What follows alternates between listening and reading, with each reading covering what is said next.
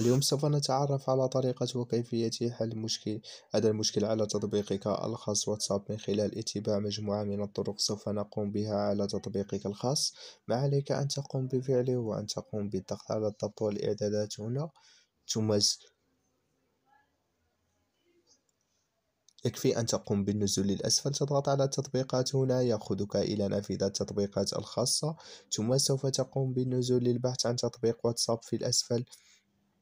تضغط على واتساب هنا ثم يأخذك إلى نافذة معلومات التطبيق تضغط على إيقاف إجباري ثم تضغط على موافق ثم سوف تقوم بالنزول للأسفل تضغط على مكان التخزين.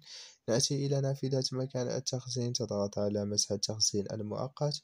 ثم ما عليك أن تقوم بفعله هو أن تقوم بإطفاء وتشغيل هاتفك الخاص لكي يقوم بتحديث التطبيق وحل المشكل. وهنا نكون قد انتهينا من هذا الفيديو.